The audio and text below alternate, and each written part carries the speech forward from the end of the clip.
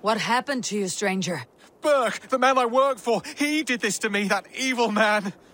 I was simply doing a round of checks on our last shipment when he accused me of theft. Me! Theft! Please, bring me up to the bridge. I need some treatment, some medicine.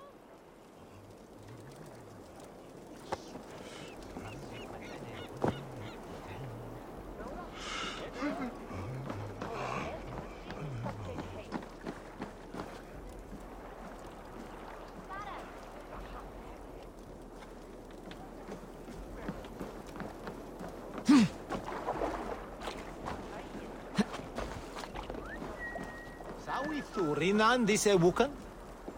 Hi eude sanctes.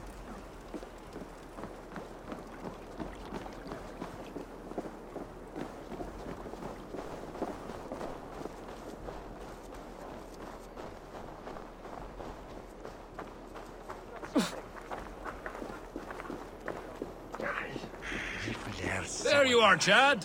About time you showed your face. What is left of it. Burke? No, no, no!